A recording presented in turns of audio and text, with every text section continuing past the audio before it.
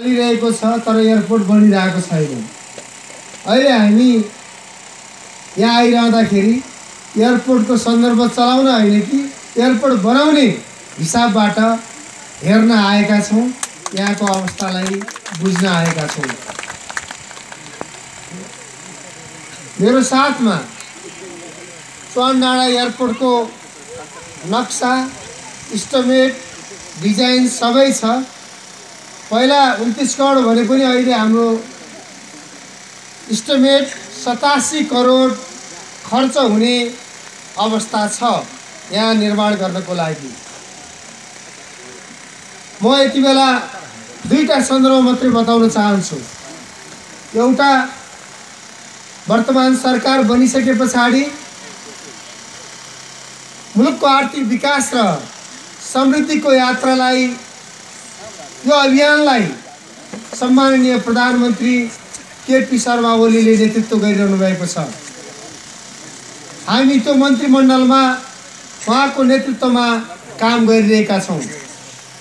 यो ठाउँ उहाँको जन्मस्थल भएर भएका कारणले मात्र होइन यो ठाउँ यस क्षेत्रको उपयुक्त ठाउँ भएको हुनाले पनि हामीले यो ठाउँमा एयरपोर्ट बनाउने सन्दर्भमा छलफल गऱ्यौँ सम्मान्य प्रधानमन्त्रीज्यूले हामीलाई भन्नुभयो त्यसको सन्दर्भमा के कस्तो लाग्छ सबै कुराहरूको डिटेल अध्ययन गर्नुहोस्। अघिल्ला अध्ययनका आधारमा हामीले फेरि अध्ययन गऱ्यौँ र अध्ययन गर्दाखेरि आज हामी नक्सा र सबैसहित एउटा अध्ययन पुरा गरिसकेर सम्मान्य प्रधानमन्त्रीज्यूले अब त्यो अध्ययन गरिसके पछाडि अरू होइन पर्यटन मन्त्री आफै गएर चाहिँ चरण डाँडा हेरेर आउनुहोस् भन्नुभयो। त्यसपछि त्यो अध्ययन पछाडि आज हामी यो ठाउँको स्थलगत अध्ययन गर्नको लागि आएका छौँ। र स्थलगत अध्ययन यत्तिकै हेर्दाखेरि पनि अरू स्टडीले त बताइरहेको छ अरू अध्ययनले त बताइरहेको छ। यत्तिकै हेर्दाखेरि पनि यहाँ एयरपोर्ट बनाउनुको लागि उपयुक्त ठाउँ छ। किनभने यहाँ केही कुराले पनि छेक्दैन। त्यस्तो ठाउँमा यो भएको हुनाले सबै हिसाबबाट यो उपयुक्त हुन्छ भन्ने हामीले ठानेका छौँ। यस अर्थमा म तपाईँहरूलाई भन्न चाहन्छु सम्मान्य प्रधानमन्त्रीज्यूको सन्देश पनि भन्न चाहन्छु कि सरकार यो ठाउँमा एयरपोर्ट बनाउनका लागि प्रतिबद्ध छ। त्यस कारणले हामी त्यसलाई अगाडि बढाउनको लागि तपाईँहरूको बिचमा आएका छौँ। तपाईँहरूको साथ छ। हामी सबै मिलेर यो कामलाई अगाडि बढाउनेछौँ दोस्रो कुरा पानी परेको छ मौसम खराब भएको छ हामी फेरि फर्काउनु पर्नेछ त्यसले गर्दाखेरि सरकार अहिले आफ्ना कामहरूलाई अगाडि बढाइरहेको छ। तर सधैँ अस्थिरताबाट फाइदा लिएकाहरू मुलुकको अव्यवस्थाबाट फाइदा लिएकाहरू मुलुकलाई विकास र समृद्धिको यात्रामा अगाडि जान नदिनेहरू आत्तिएका छन्। केही भएन केही भएन भन्ने कराइरहेका छन्। तर म भन्न चाहन्छु अहिले वर्तमान सरकार निर्माण भए पछाडि मुलुकको आर्थिक विकास र समृद्धिको यात्रामा उल्लेख्य कामहरू भएका छन्। स्थानीय सरकार प्रदेश सरकार सङ्घीय सरकार तिनटै सरकारको समन्वय तिनटै सरकारको सञ्चालन तिनटै सरकारको सङ्गठनात्मक व्यवस्थापन तिनटै सरकारको कानुनी व्यवस्थाहरू। यो सबै हामी बनाएर यी तिनटै सरकार जनताले निर्वाचित गरेका सरकार हुन्।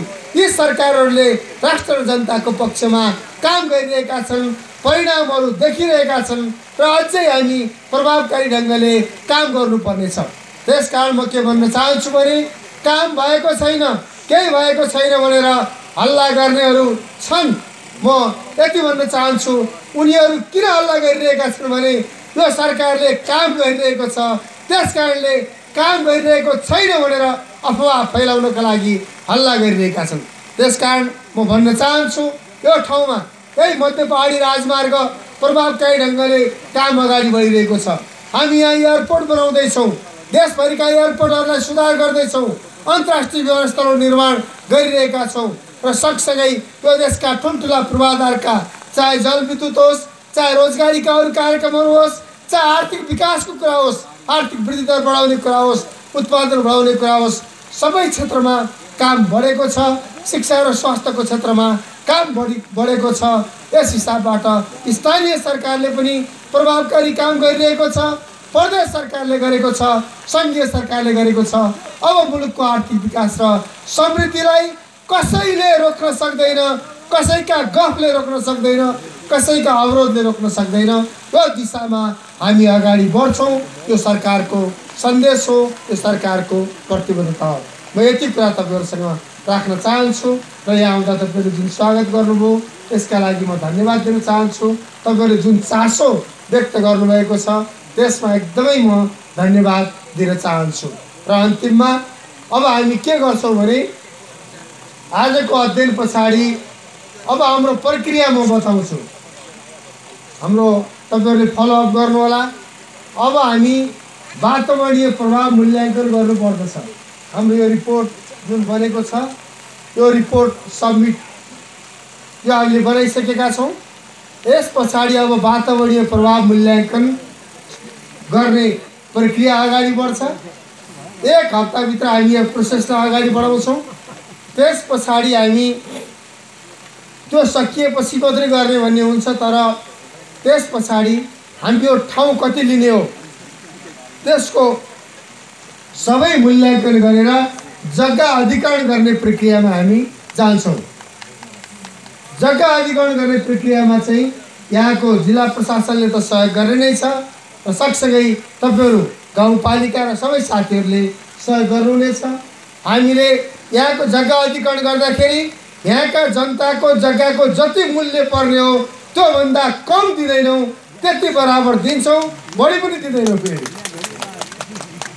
कम पनि दिँदैनौँ बढी पनि दिँदैनौँ। जति मूल्य पर्ने हो त्यो मूल्य बराबरको हामी दिन्छौँ र यो सरकारले किन्छ र तपाईँहरूको यथोचित अरू व्यवस्थापन तपाईँहरू त्यो पैसाबाट गर्नुपर्छ अनि हामी यहाँ चाहिँ एयरपोर्ट बनाउने कुरालाई सुरु गर्छौँ। जब एआइए वातावरणीय प्रभाव मूल्याङ्कन अनि पछाडि जग्गा अधिकरणको काम सुरु भइसके पछाडि हाम्रो डिटेल डिपिआरका आधारमा हाम्रो डिटेल यसलाई अझै पर्फेक्ट बनाउनु पर्नेछ।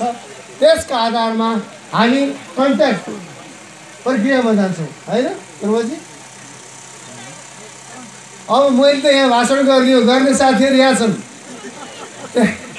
उहाँहरूलाई साँच्ची राखेर ल्याएर उहाँहरूको हामी सबै यो सिभिल एभि सिभिलको सिभिलको वर्कको काम गर्ने डिपार्टको मुख्य मान्छे हुनुहुन्छ ध्रुवजी उहाँ ती धेरै इन्जिनियरहरूलाई चलाउने मान्छे हो। त्यस कारणले इन्जिनियरको पनि इन्जिनियर मैले यहीँ बोकेर ल्याएर आएको छु।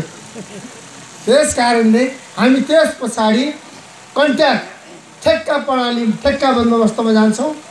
ठेक्का गर्दाखेरि हामीलाई चाहिँ धेरै लाग्यो चार महिना होइन? पछाडि टेन्डर गइसके पछाडि। त्यसको दुई वर्षमा हामी सक्दैनौँ तिन वर्ष लाग्छ? तिन वर्ष लाग्छ भन्नुभएको छ। म चाहिँ दुई वर्षै सट्याउनु पर्छ भन्ने पक्षमा छु।